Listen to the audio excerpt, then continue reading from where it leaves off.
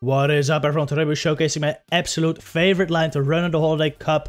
Currently, this team was originally just meant to be a meme team designed to absolutely destroy any team with a Charmer. But it did so good against everything else as well. I ran this team for 11 sets. I went positive in 9 of them and I got a couple 5-0s along the way as well and I gained so many points with it. It functioned so well and it was incredibly fun to run.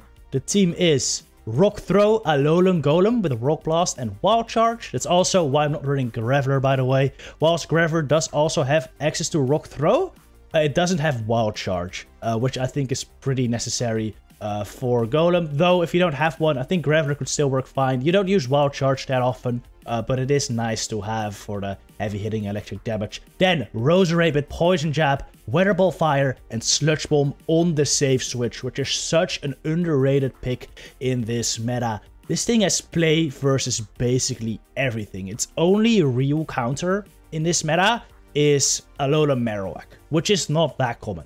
Versus everything else, even the flyers, it has so much play. A Talonflame cannot take a Sludge Bomb, for example. If you safe switch your uh, your Roserade, they bring in Talonflame. What often ends up happening is you get to the Sludge Bomb, they don't shield it, you can shield their Flame Charge, you can Poison Jab them down, you, can, you take Switch back. Or sometimes you can even kill with the Sludge Bomb before they get to the Flame Charge. It is so good.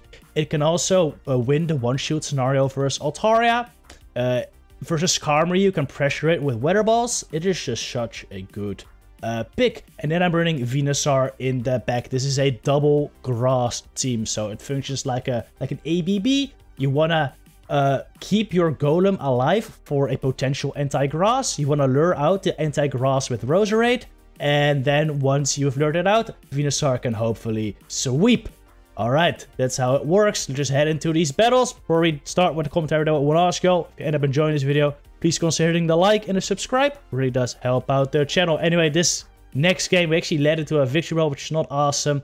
Go to Rose, in comes Aerodactyl, not great.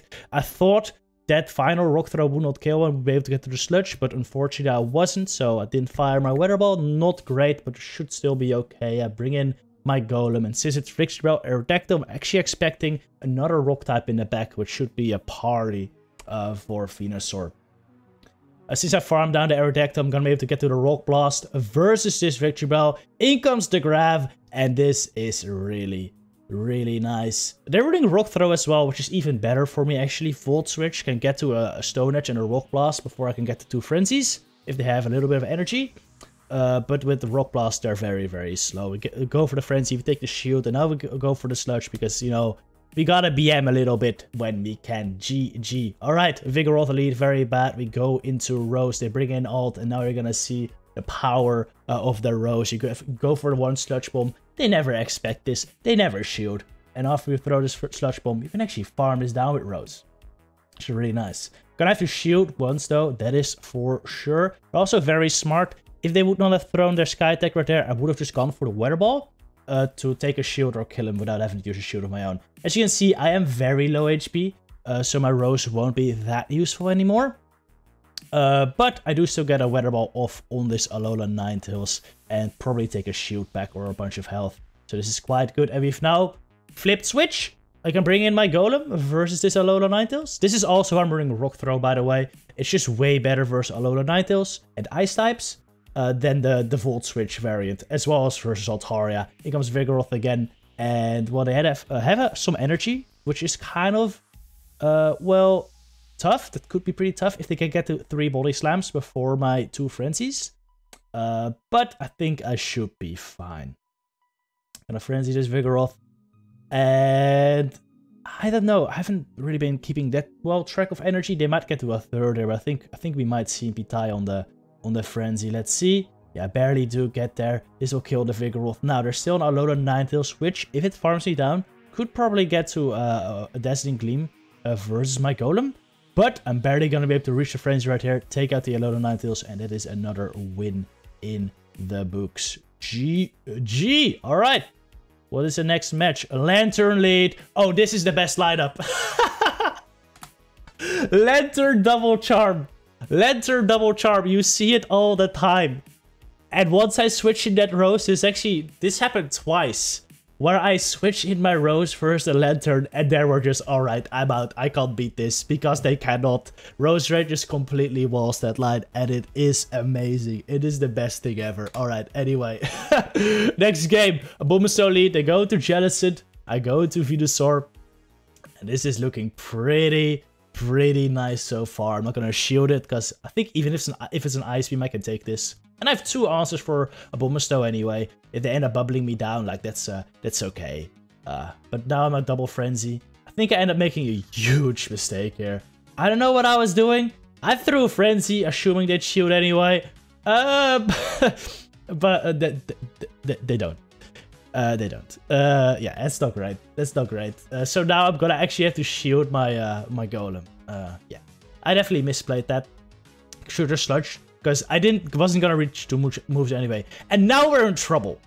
This is the downside of not having Leaf Storm or Grass Knot of Roserade. I actually lose versus Stunfisk, which is not that big of a deal. Most of the Stunfisk I've seen, uh, I consider by the way, because it's just over. Most of the Stunfisk I've seen uh, so far are in the lead, and then I usually just switch into Roserade, and they end up switching out anyway. They don't know I don't have a Grass move. They they assume Roserade counters it, so they switch out and then I get Venusaur aligned later. Uh, but yes, Stunfisk is actually a core breaker for uh, Golem and Rose. So definitely try to get your Venusaur on it if you expect there to be a Stunfisk in the lineup. Alright, Litleo, really good lead. In comes the Wigglytuff. Well, we love to see this. Roserade can actually farm this down all the way. No need to, to throw a move if you if you uh, switch soon enough, but uh, well, I, I I I wasn't counting the moves, but they were only at like eight charms. I could have I could have farmed it down completely, uh, but uh, most of these games they were uh, they were streamed on my on my Twitch uh, live stream, and honestly, I'm not always paying attention. I was reading chat and you know just having fun, so I'm not always counting. So I just threw my move there. because I wasn't really focused, but if I was, I would have probably counted and, and known that they weren't there yet. Uh, but yeah, uh, this is looking quite good. This is another uh, double charm line.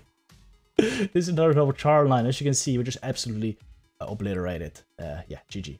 I still have a Venusaur in the back for that thing as well. Alright, Trevenant lead is kind of a core breaker because it can beat both my Golem and my Rose. But it's really not that bad because with shields, Golem can do so much damage with the rock throws and they have to shield the rock blasts. Uh, and Venusaur, if I get shields down, can just Sludge Bomb it and it does so much damage. And Rose is a counter because a Weather Ball, of course, is super effective and does a lot of damage. I'm gonna try to catch this next Seed Bomb, but because we were desynced there, I, I couldn't, unfortunately. Or we were like off sync. Uh, unfortunately, they lagged the turn. Uh, but uh, yes, we still farm it down, which is okay. Still not awesome though, and this is why we why we have Wild Charge actually, uh, because it's just such hard hitting damage. Uh, well, that didn't do that much, but it's a Lickitung. On Lickitung standards, that's pretty. That's quite a lot. In comes the Talonflame, and and and why would why would they shoot? I'm just gonna kill it with Sludge Bomb right here. Unfortunately, they do shield. Alright, not every, unfortunately not every Talonflame no shields, uh, which really sucks. Because uh, if they don't shoot at that, uh, this would have been a really nice situation for me. But now, it's gonna be quite difficult. I think this Flame Charge already almost takes me out. And Oh, I barely don't kill him. Oh my goodness. If I would have just gone for the double weather ball, I might have actually been very safe there. But uh, yeah, the Brave Bird, they kill me, GG. Alright, another Galarian Stunfisk lead. I go into Rose. Uh, and there's this switch out, that always happens. Maybe not after this video anymore, but that usually does happen. Uh, I go for the Sludge. Do they let it go? They don't. Oh man. they shoot it up again. Trust me, a couple, a couple did let it go, and then you, then you can farm down. But this is, uh, this is, this is worst case scenario, of course, uh, because well, I do have a shoot advantage, but uh, they have switch advantage, and if they have another grass type answer in the back, I'm not looking that good. However, a pretty common Stunfisk lead team is Talonflame and Froslass in the back, and if it's that, Venusaur with a shield advantage will win. So let's see. I just let that go. I want shield advantage. And it's a Dewgong, which isn't a Froslass, but it is an ice type. It's also water. So these frenzies will do so much. I'm looking pretty, pretty good at this point. Uh, of course, I will shield this up. The only thing I'm worried about is that that Stunfisk might have a little bit of energy. And that I'm uh, gonna be debuffed or maybe even double debuffed after I hit this Frenzy. Because I'm not even sure if this knocks out uh, the Dewgong at this point before they can get to another Icy Wind. Luckily, it does.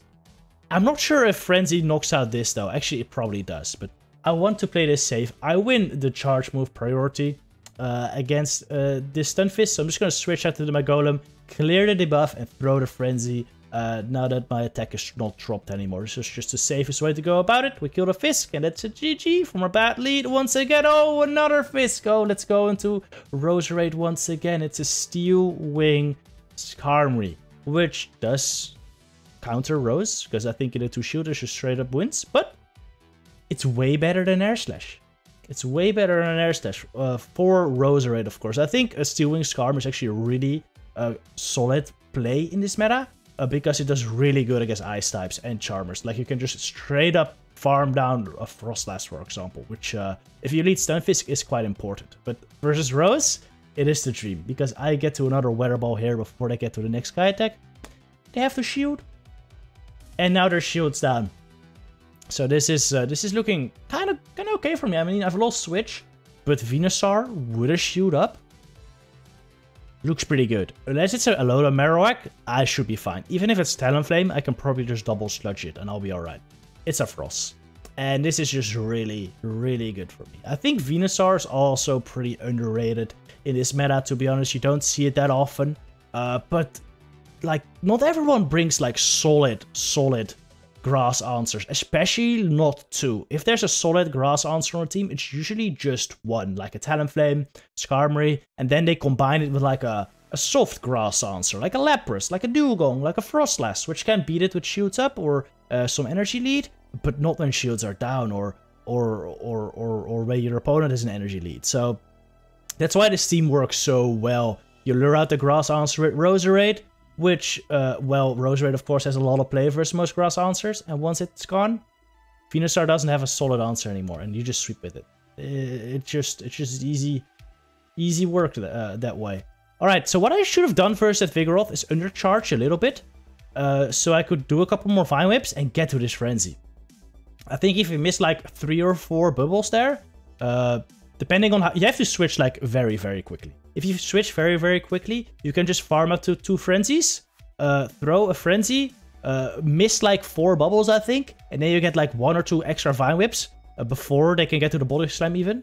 Uh, and then you can uh, get to the next frenzy versus uh, versus the Lapras there. that is that is how I would play it out versus versus Lapras lead. Or figure figure Lapras lead, figure safe swap. Because now I'm actually to be in trouble because I didn't do that. I will get to the Weather Ball here, but I don't think they have to shield. And even if they do, do I even have a move with, uh, with Golem? Do I have a move with Golem? I don't think so, right? I can just surf? Yeah, alright. Yeah, and we lose the game. Lapras is actually kind of problematic for this squad because surfs, especially Shadow, actually regular is fine. Shadow is tough because the surf is just so much. Uh, but yeah, you kind of have to play around it. Anyway, next lead, another tough one, uh, Trevenant. Uh, we talked about this earlier. It does beat both Golem and Venusaur. But if you play around with shields, uh, you should be fine.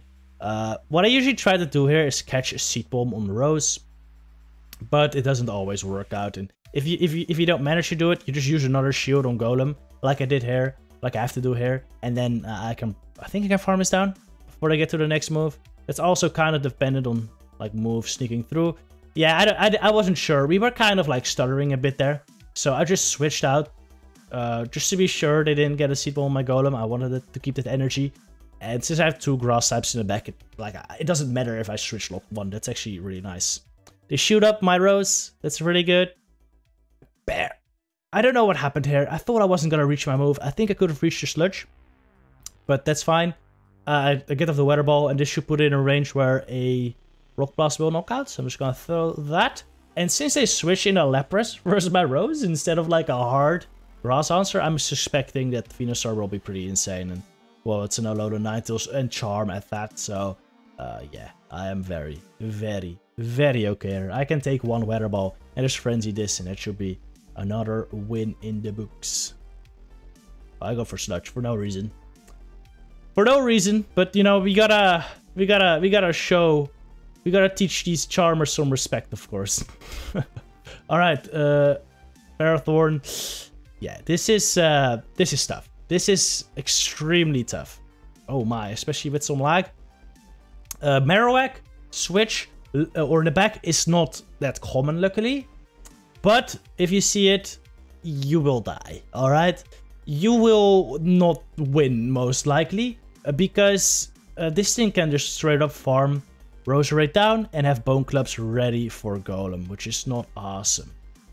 But I'm just gonna no-shoot the first one. Also, Ferrothorn is terrible. I actually managed to beat a couple Alola Marowaks as a switch, uh, but usually because the rest of their line was just pretty weak to Golem and Venusaur. But with uh, with with Ferrothorn, that's also another amazing core breaker for my team. So yeah, we are not looking good. Uh, uh, yeah, with Talonflame as well. That's not great. I actually managed to beat an Altaria double fire line with this team which was kind of insane. It was Altaria, Marowak, and Talonflame, and actually managed to beat it uh, once. I, I, faced that line like three times, I think, but I, I beat it once. It, it's not gonna be in this video because uh, actually I made this compilation of battles before I had that battle, but I'll likely make a, a, a separate short video of, of that soon, so stay tuned for that because it's a pretty epic battle. Anyway, this is Altaria with a Lanturn Switch, which of course is really good for my Venusaur. However, uh, I, I, I feel like I should have maybe gotten Roserade. It's a less good matchup, but... Well, I don't know. The thing is, they I, I felt like they were luring out the grass type with that, so I might have needed my more solid grass type for whatever's in the pack, but it doesn't seem that way. It's a Talonflame. The thing is though, the Talonflame already has a bunch of energy. Uh, and one flame charge will do a lot. At this point though, both Altaria and Talonflame are very, very low. So what I'll do is no-shield this. I was expecting them to switch to Altaria immediately. So I switched to Rose immediately as well. Uh, because I didn't want to get Dragon Breath down. And now I can just shield this up. Farm down with the jabs. And now I should probably be able to farm down the Talonflame as well. And if I if I can't, Oh, I just Weather Ball. That works as well. But if they if they like throw a Flame Charge, uh, I can probably farm down with uh, with Golem. So I'm fine either way. Yeah, I just throw a, another Weather Ball right here. And it's a GG. Roserade taking out more fires. Let's go. All right, that was the final battle. Again, I do really recommend this team. It's so much fun to run and incredibly uh, solid. And it just obliterates all the double charmers, which is really, really nice. Anyway, hope you enjoyed this video. Appreciate y'all. Happy holidays.